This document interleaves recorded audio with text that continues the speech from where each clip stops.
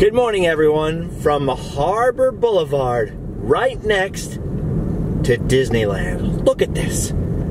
Look at this social distancing. There is no one around. But I have driven over here to this area because today we're going to Disneyland. Of course, as you may have guessed, we can't exactly pull into the parking garage right now. It is still closed. Right along with the park itself, actually. So far, it's all been closed for 10 days. The entire Disneyland Resort. The longest closure by far in its entire history. But that's not even the crazy part. The crazy part is it looks like it's now going to be closed for at least 20 more days. Possibly even 24 days, which would make it more than a month. So you may be asking yourself, if the parking lot is closed and the park is closed, then what the heck do you mean we're going to Disneyland today? Well, it's true that we can't physically set foot in the park today, but we can step into the park back in the 1960s. How? Through a little Randomland time travel. All right, we're gonna start here from right in front of the Tropicana. Everybody concentrate.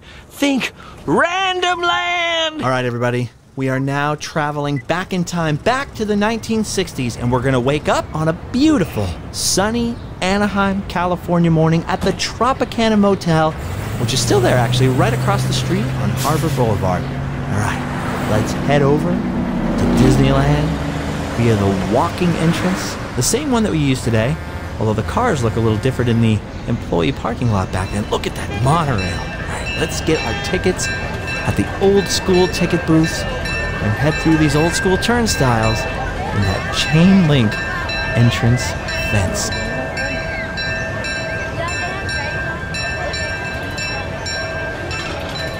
One of the things I love about Disneyland is that look at this, the entrance experience is still very much the same, same feel, but just look how well dressed everybody is. Oh, the Disneyland News. Remind me to pick up a newspaper later. Miss that parking lot. I love how you can see the train before you enter the park and hear the sounds and get stoked. And speaking of getting stoked, before you even enter the park, not only do you get to see Mickey out here, the flowers, the train, but if you turn around, look at this! It's Winnie the Pooh and Tigger! Your favorite friends from the Hundred Acre Wood, right to greet you right from the beginning. Pooh's got his own name on his shirt. I love this old school look. And look at Tigger over here. He hasn't aged a day. How exciting would that be? Oh, Thanks for noticing me. Boy, these kids really are noticing. Look, Eeyore is swarmed. His mouth is open. He's just standing there confused. He's got no friends to protect him. He's exposed. Run, Eeyore, run! It's all right, we're finally in. And what do we see right from the beginning? It's our old pal, Mickey Mouse. Look at those tiny little Mickey hands. Nothing more exciting than seeing Mickey Mouse, except seeing a lady in a very brightly colored shirt. Look at this. Even Mickey Mouse looks impressed. Hello. Hi, Mickey.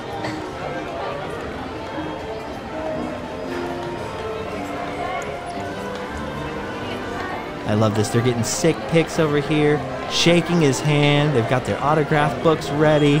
Oh, look at that. That is fantastic. What a great way to kick things off, huh?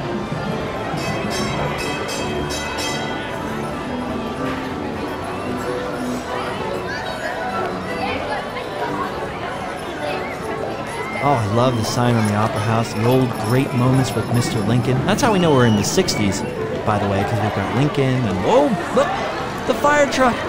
Here it comes. I was thinking about this the other day. Back at this time, you would have had to pay 10 cents for the horse-drawn omnibus, a few cents to ride things, and it must have felt a lot more like a ride, where now it feels like, ah, I don't want to take the little car, you know, I'll just walk, but back then, as you can see right here on this little sign, if you paid 10 cents, you really felt like, all right, I'm on an attraction. Look at that. We made it to the end of Main Street, and there she is. Sleeping Beauty Castle. Oh, gosh. Oh, we can see our brightly colored shirt lady. She's walking across the drawbridge. Wait a minute. She's stopping. She's waving hello over there. And she's wondering what we're doing. We're getting a good shot. We're getting a good shot. Hold still. We'll zoom in. Line up the shot here. Get a sip pic. Wait a minute. What's she doing? Oh, she's waving us over. Oh, she wants us to see the swans. A lot of people don't know Disneyland used to have rare black swans in the moat. Wow. Oh, look at this.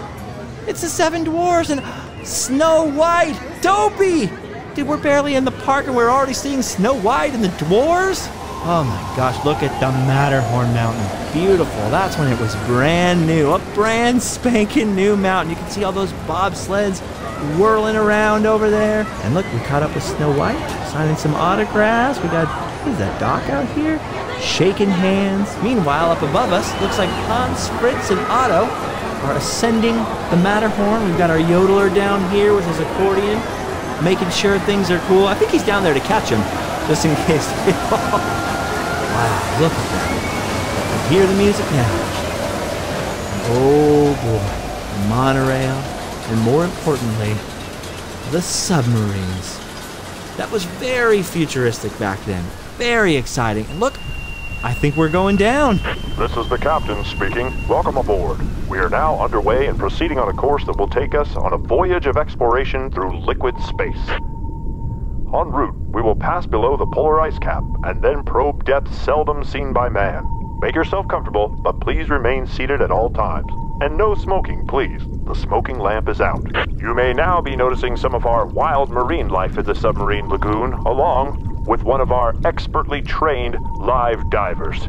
Actually, this is a clip from Marineland and not from Disneyland. But I got you for a second there, didn't I? We've enjoyed having you aboard on this adventurous voyage through liquid space, our last frontier on planet Earth. Station the maneuvering watch. Rig ship for mooring. Aye, aye. Stand by for station. All ashore, please. All ashore.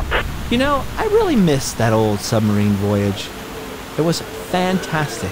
I mean, I like the Nemo version too, but that original old school trip through liquid space was just something else. Look at this. We got the Ethan Allen over here, the Sea Wolf, the Nautilus.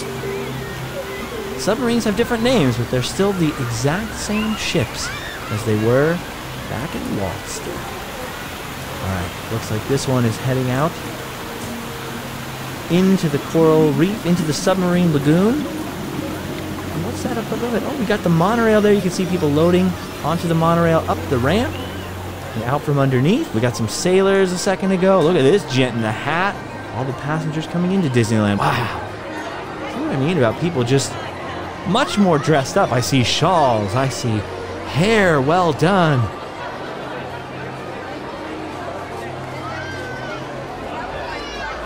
Up. Oh, here comes the monorail past the old yacht bar. And I think we're actually about to go up there and take a ride on the Skyway to Fantasyland.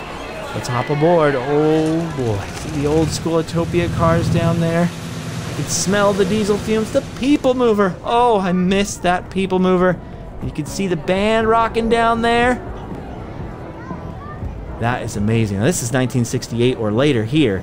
It's a little bit later in some of the shots because of the people mover and all that different stuff from Tomorrowland. But boy, still, what a classic view. Classic Disney experience. All right, we're headed in to the Matterhorn Mountain now.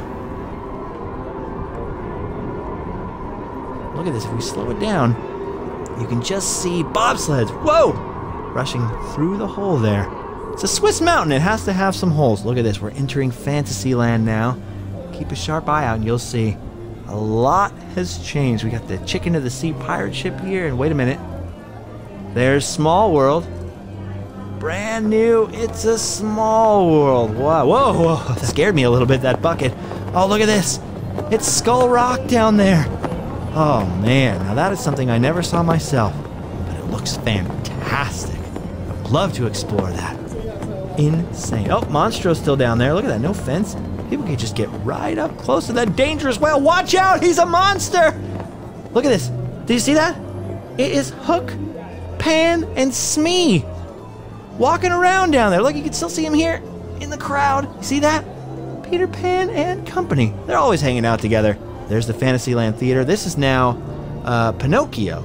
But it used to show movies. You can see it showing Winnie the Pooh. And then before there was a village house, this was the home of Dumbo the Flying Elephant.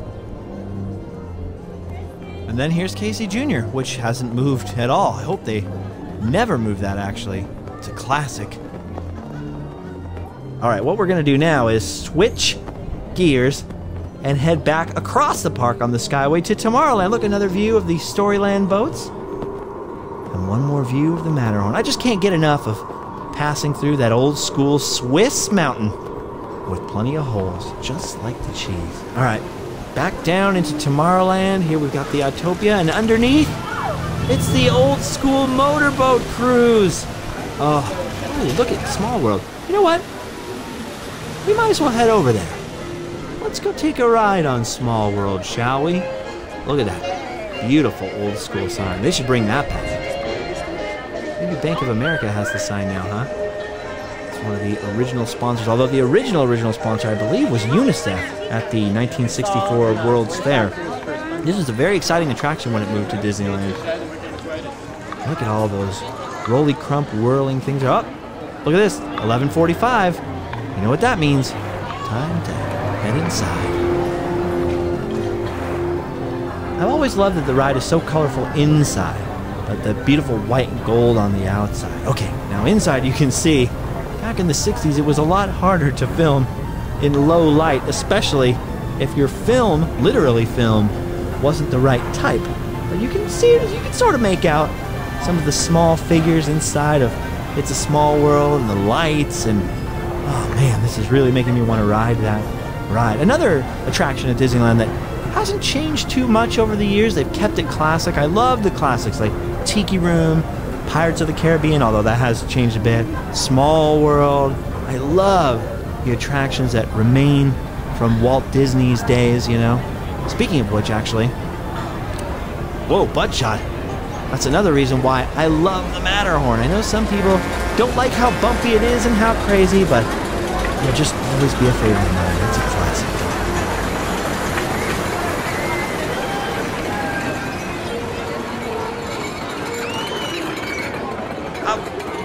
Are you filming me? Why are you filming me? I'm just getting some popcorn. Let's go. Oh, look at this. We got Cool Dad over here, cruising into Fantasyland. Now that is a man from the 60s over there. All right, okay, now this might make you sick. So bear with me here. But look at these teacups. They look a lot more like the way the Disney World ones do, don't they? Look in the background, you can just see the sign for Mr. Toad's Wild Ride, the old school facades of the Fantasyland attraction.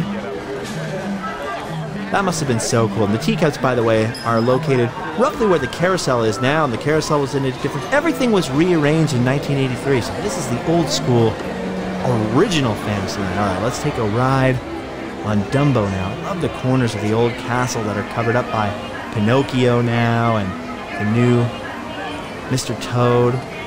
Just look at this. Look how fun that would have been. Well, it's still fun, right? Dumbo, another ride that really hasn't changed, although it's a different actual ride mechanism now. Look at that. Beautiful. There's something about Disneyland.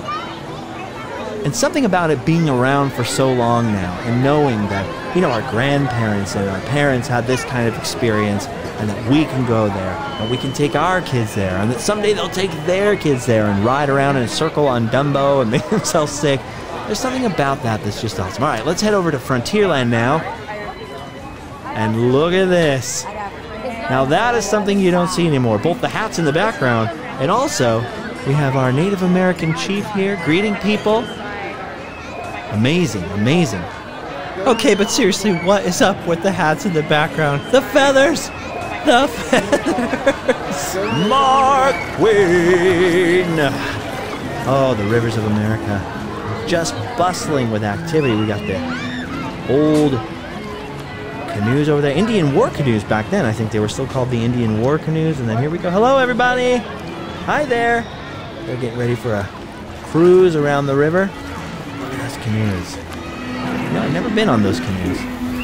All right, now we're on the Mark Twain, passing the burning settler's cabin. I don't know if you noticed, actually, we slow it down and go back, you can actually see the dead settler outside with the arrow stuck into him. Not a great shot of it. I have other shots, but there's a dead settler in front of that burning cabin. All right, let's move on. Looks like there's a few rapids on the rivers of America here, but I think those canoes will be fine. Check this out over by the canoe dock. Look at that, no fences. I mean, you could just be right up against the water. Very different to the way it is now. All right, now this looks like Tom Sawyer Island, but I believe what we're seeing here is this young child climbing up over things, which is something you are strongly discouraged from doing now. But I think this is actually the entrance to the old Indian country, the old Indian village here, which is now bear country and then critter country. And we're about to step inside the Indian village, and look at this. Right alongside the rivers of America, roughly ish where Hungry Bear Restaurant is now. The old Indian village featured actual Native American performers doing all kinds of traditional dances with traditional costumes. It was a, a time when people were very interested in Native Americans, and it was nice that it's not just, you know, cowboy and Indian TV stuff, but you could actually come meet real Native Americans and see some of their traditions and maybe actually get to talk to them after the performances. And a lot of people have very fond memories of the Indian village and the dance circle, although, of course, it's not something that was around while I was around. Look at that old school stroller in the back. Just a couple of poles and some cloth. this is fantastic. Oh, look at this. Oh, look at that dance. Talk about talent. I can do a fair bit of scooty pooting myself, but nothing like that. That's amazing. That's a lot of skill. All I can make is a mess, so I really appreciate this. All right, speaking of things that aren't at Disneyland anymore, let's go ahead to another classic attraction that's gone now. What is this we're looking at? These, my friends, are the pack mules. The pack mules through Rainbow Ridge and then eventually Nature's Wonderland. Look at this, right along the side of Rivers of America, right around the area where Big Thunder is now. Look how close you got to what was then called the peaceful Indian village there along the side of the river. A little bit shaky footage, but I think you can see a moose back there, and now there it is, the living desert, nature's wonderland itself. Look at those paint pots back there. And I don't know if you saw it, but there was a tunnel back there that was at Big Thunder Barbecue. This is all gone now, all taken over by Star Wars. Kind of bumpy, kind of shaky, but you can see some of the balancing rocks that would have moved around back then and playing animals. And oh, looks like we're in Adventureland now. Going to the Swiss Family Robinson Treehouse. Still scares me. Tarzan's treehouse is pretty cool, but I definitely miss the old Swiss Family Robinson version. First of all, if you haven't seen that movie, it's great. I think it's on Disney Plus now. Fantastic old school live action Disney movie. Wow, just seeing the Swiss Family version can almost hear the Swiska Polka, you know, that old song playing from the treehouse right now in my head. That's amazing. Oh, it's making me a little dizzy, but better them up there than me, huh? It really did look handmade too. That was the thing about the older version. It just it looked so kind of janky, but in a fun way. Anyway, let's move on. Some steel drum players in front of the old Tahitian terrace here, playing a little exciting music. And in the background, our next ride, we are going to take a cruise through the jungle. I get paid for the number of people I take out, not the number of people I bring back. Don't worry if it's crowded now. There'll be lots of room on the way back. How many of you are on the Jungle Cruise for the first time? Good. So am I. Now there's a croc with a snappy personality. He's going to get himself a knuckle sandwich if he isn't careful. Look at all the elephants out here today. This comes as a complete surprise to me because I had no idea these guys were going to be here. If you want to take pictures, go right ahead. All the elephants have their trunks on, and now we're approaching beautiful Schweitzer Falls, named after that famous African explorer, Dr. Albert Falls. Whoa, you folks in the back, lean in, duck! Whew, that was close. Ladies and gentlemen, here you see some of our wild animals. Of course, we have bolted their legs to the floor for your safety. And here we have an example of one of the first laws of the jungle. Don't be a zebra. Oh, look! That safari's in a tight spot there, but that rhino seems more than willing to give him a lift. Ladies and gentlemen, we're now turning into a pool of very dangerous hippos. As long as we hold still, they're only dangerous when they wiggle their ears and blow bubbles. In that canoe over there, some of the natives' arts and crafts. Art's the one on top. Here you see a friendly group of native traders. Whoa! Watch out, ladies and gentlemen. And if you get hit by a spear, please pull it out and throw it back. We can't keep souvenirs here. Wouldn't want you to get stuck with it. Okay, guys, time to head back to civilization. We've been here all day, and after a quick stop with Trader Sam, I think our Disneyland day is just about over.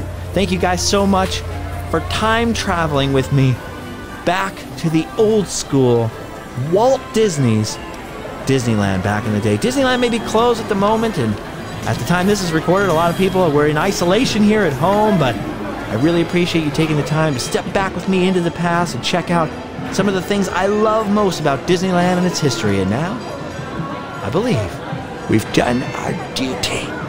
It's time to go home and Well, except for Grandpa. Grandpa's got to stay outside.